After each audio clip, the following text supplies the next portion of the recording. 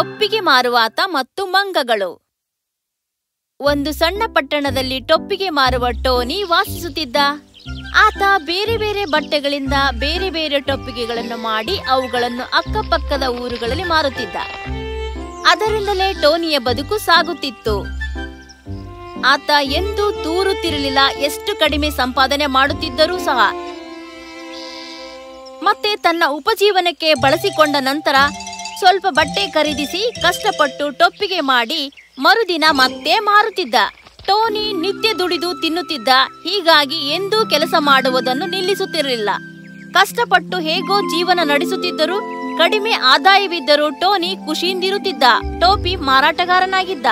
ಅದಕ್ಕೆ ಕಾರಣ ಎಂದರೆ ಆತ ಪ್ರೀತಿಯಿಂದ ತನ್ನ ಕೆಲಸವನ್ನು ಮಾಡುತ್ತಿದ್ದ.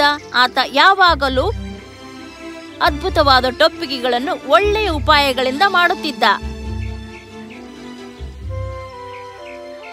ಟೋನಿಯ ಊರಿನ ಸ್ವಲ್ಪ ದೂರದಲ್ಲಿ ಒಂದು ಸಣ್ಣ ಅರಣ್ಯವಿತ್ತು.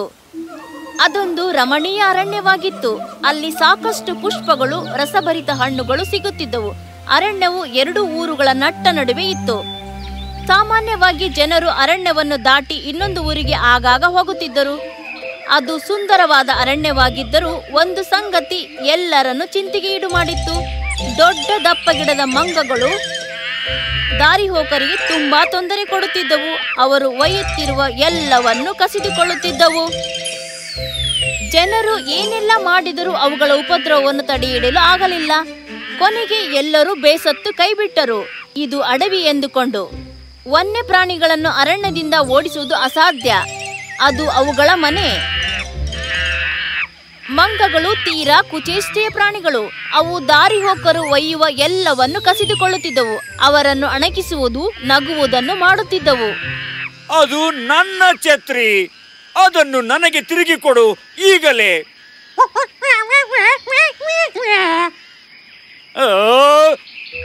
ಜನರು ಶಕ್ತಿ ಮೀರಿ ಪ್ರಯತ್ನ ಮಾಡಿದರು. ಕೊನೆಗೂ ಬೇಸತ್ತು ಕೈಬಿಟ್ಟರು. ಅವರು ಅಸಹಾಯಕರಾಗಿದ್ದರು. ಕೆಲವು ದಿನಗಳ ನಂತರ ಟೋನಿ ಆ ಊರಿಗೆ ಬಂದನು. ಟೊಪ್ಪಿಗೆ ಮಾರುವುದಕ್ಕೆ ಆತ ಎಲ್ಲ ಪ್ರಕಾರದ ಟೊಪ್ಪಿಗೆಗಳನ್ನು ತಂದಿದ್ದನು. ಸಾದಾ, ಹೊಳುಪಾದ ಬಣ್ಣಗಳವು ಚೌಕೋನ, ಗೆರೆಗಳುಳ್ಳ, ಅಂದರೆ ಇಂಥ ಪ್ರಕಾರದವು ಇಲ್ಲ ಎನ್ನುವಂತಿರಲಿಲ್ಲ. ಅಷ್ಟೊಂದು ಪ್ರಕಾರದವು ಟೋನಿಯಲ್ಲಿದ್ದವು. ಟೊಪ್ಪಿಗೆ ಟೊಪ್ಪಿಗೆ ಟೊಪ್ಪಿಗೆ! ನಿಮಗೆ ಬೇಕಾದಷ್ಟು ಕೊಳ್ಳಿರಿ. ನಿಮ್ಮ ಬಳಿ ಸಾಕಷ್ಟು ಟೊಪ್ಪಿಗೆಗಳು ಇರಲಿಕ್ಕಿಲ್ಲ. ಕೆಂಪು ಬೂದಿ ನೀಲಿ ಯಾವುದೇ ಬಣ್ಣದವನ್ನು ಹಾಕಿಕೊಳ್ಳಿ. ಹೊಸದಾಗಿ ಕಾಣುವುದಕ್ಕೆ ಟೊಪ್ಪಿಗೆ ಟೊಪ್ಪಿಗೆ ಟೊಪ್ಪಿಗೆ.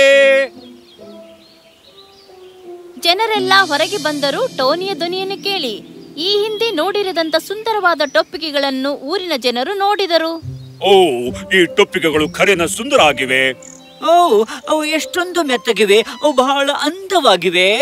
ಯವ ನನಗೊಂದು ಕೊಡಿಸವ ಅವು ಎಷ್ಟೊಂದು ಮೆತ್ತಗಿವೆ. ಅವುಗಳನ್ನು ಮುಟ್ಟದೆ ಇರೋದಕ್ಕೆ ಆಗ್ತಿಲ್ಲ. ಅದು ಖರೇನ ಆಗಿತ್ತು. ಟೋನಿಯ ಅನೇಕ ಟೊಪ್ಪಿಗೆಗಳು ರೇಷ್ಮೆಯಿಂದ ಮಾಡಿದವು. ರೇಷ್ಮೆಯ ಟೊಪ್ಪಿಗೆ ಅಂದರೆ ವಿಚಿತ್ರ ಅನಿಸುತ್ತದೆ. ಆದರೆ ಅವೆಲ್ಲ ತುಂಬಾ ಚಂದವಾಗಿದ್ದವು. ಮೃದುವಾಗಿದ್ದವು. ಯಾರಿಗೂ ತಡೆಯಲು ಆಗುತ್ತಿರಲಿಲ್ಲ. ಟೋನಿಯಿಂದ ಅನೇಕ ಮಂದಿ ಟೊಪ್ಪಿಗೆಯನ್ನು ಖರೀದಿ ಮಾಡಿದರು. ಅವರು ಟೋನಿಗೆ ಊಟ ನೀರನ್ನು ಕೇಳಿದರು. ಟೋನಿ ನಿರಾಕರಿಸಿದ. ಓ ಪುಣ್ಯ ಬರಲಿ ನಿಮಗೆ. ನನ್ನ ಪ್ರವಾಸವನ್ನು ಮುಂದುವರಿಸಬೇಕು ನಾನು. ಮುಂದಿನ ಊರಿಗೆ ನಾನು ಹೋಗಲೇಬೇಕಾಗಿದೆ. ಓ, ನೀನು ಆ ಅಡವಿಯನ್ನು ದಾಟಬೇಕಲ್ಲವೇ? ಮಗ್ಗಲಿನ ಊರಿಗೆ ಹೋಗಬೇಕಾದರೆ? ಹೌದು, ಅಲ್ಲಿಂದಲೇ ಹೋಗಬೇಕಾಗುತ್ತದೆ. ಓ, ನೋಡು, ನಿನ್ನ ಬುಟ್ಟಿಯನ್ನು ಸರಿಯಾಗಿ ಬಿಗಿದು ಮುಚ್ಚಬೇಕು, ಹೌದಲ್ಲ? ನೋಡು, ಅಲ್ಲಿ ಕುಚೇಷ್ಟೆಯ ಮಂಗಗಳ ಗುಂಪಿದೆ.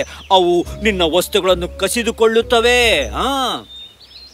ಓ, ಹಾಗೇನು? ನಾನಿದನ್ನು ನೆನಪಿಟ್ಟುಕೊಳ್ಳುತ್ತೇನೆ. ನಿಮ್ಮ ಹೇಳಿಕೆಯನ್ನು ನಾನು ಮರೆಯೋದಿಲ್ಲ.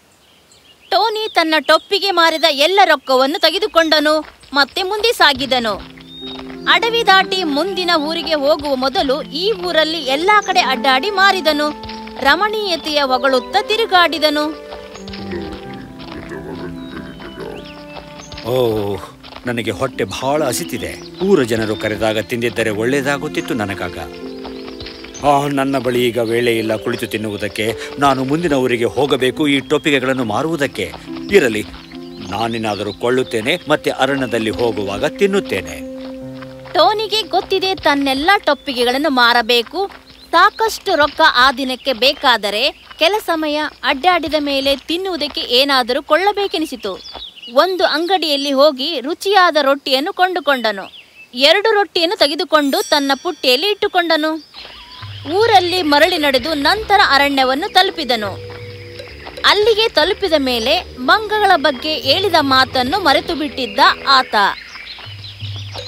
ಅರಣ್ಯದಲ್ಲಿ ನಡೆಯುತ್ತಾ ಅಲ್ಲಿ ಅಂದವಾದ ಹೂಗಳನ್ನು, ರಸಭರಿತ ಹಣ್ಣುಗಳನ್ನು ಹೊಗಳುತ್ತಿದ್ದ. ಕೆಲವು ಹೂಗಳನ್ನು ಹಿರಿದುಕೊಂಡು ಬಟ್ಟೆಯಲ್ಲಿ ಕಟ್ಟಿಕೊಂಡನು. ಸ್ವಲ್ಪ ದೂರದಲ್ಲಿ ದೊಡ್ಡದಾದ ದಪ್ಪ ಗಿಡವನ್ನು ನೋಡಿದನು.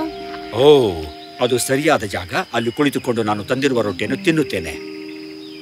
ಆಗ ಟೋನಿ ಆ ಗಿಡದ ಹತ್ತಿರ ಹೋದನು. ಅದರ ಕೆಳಗೆ ಕುಳಿತನು. ತನ್ನ ಪುಟ್ಟಿಯನ್ನು ಬೆಚ್ಚಿದನು.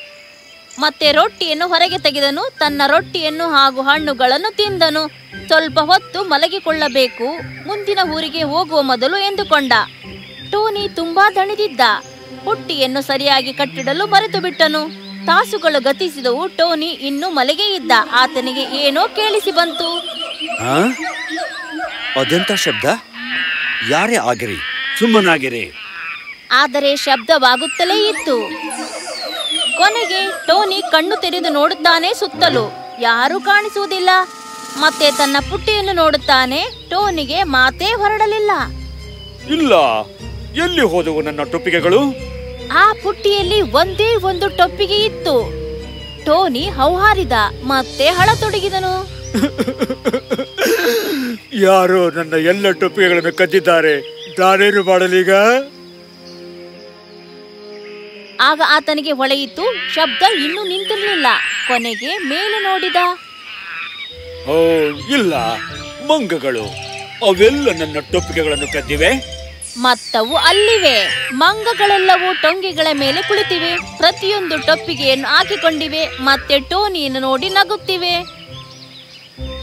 ಇಲ್ಲ, ನಾನು ಮುದುಕ ಹೇಳಿದ ಮಾತನ್ನು ಮರೆತು ಬಿಟ್ಟಿದ್ದೆ. ನಾನೀಗೇನು ಮಾಡಲಿ? ಈ ಟೊಪ್ಪಿಗೆಗಳು ನನ್ನ ಜೀವನಕ್ಕೆ ಮೂಲಾಧಾರ ಆಗಿವೆ. ನಾನು ಈ ಟೊಪ್ಪಿಗೆಗಳನ್ನು ತಿರುಗಿ ಪಡೆಯದಿದ್ದರೆ ನಾನು ಹೀಗೆ ಹೊಸ ಬಟ್ಟೆಯನ್ನು ಖರೀದಿಸಲಿ ನಾಳೆಗಾಗಿ? ನಾನು ಊಟಕ್ಕೆ ಏನು ಮಾಡಲಿ? ನಾನು ಹೀಗೆ ದುಡಿಯಲಿ? ಕೋತಿಗಳೇ! ನನ್ನ ಟೊಪ್ಪಿಗೆಗಳನ್ನು ಈಗಲೇ ಕೊಡಿ. ಅದನ್ನಷ್ಟೇ ಮಾಡಿ. ಕೆಳಗಿಳಿಯಿರಿ, ಈಗಲೇ.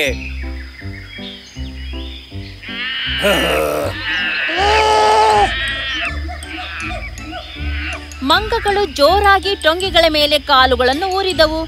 ಕೂಡಲೇ ಕೆಲವು ಬಾರೆ ಹಣ್ಣುಗಳು ಕೆಳಗೆ ಬಿದ್ದವು. ಇದು ಟೋನಿಗೆ ಯೋಚಿಸುವಂತೆ ಮಾಡಿತು. ನಿಲ್ಲು, ಅವೆಲ್ಲವೂ ನನ್ನ ನಕಲು ಮಾಡುತ್ತಿವೆ. ಅವೆಲ್ಲ ಕೋತಿಗಳು, ಖರೆನ ಅವು ನನ್ನ ನಕಲು ಮಾಡುತ್ತಿವೆ.